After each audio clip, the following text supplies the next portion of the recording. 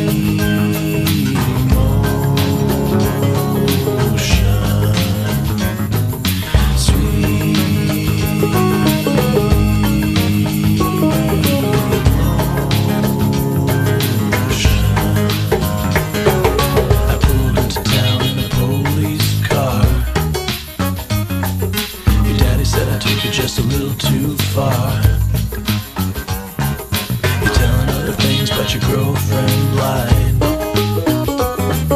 You can't catch me cause the rabbit done died. I guess it did.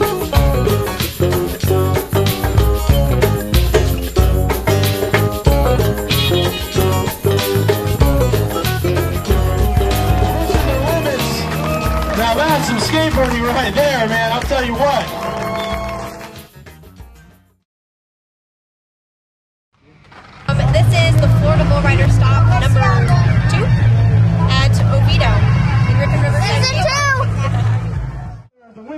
is a new permanent addition to Bowlriders Cup supporting girls skateboarding. Be sure and check out Courtney at the Grove Riders booth, the Girls Riders organization over there supporting girls skateboarding.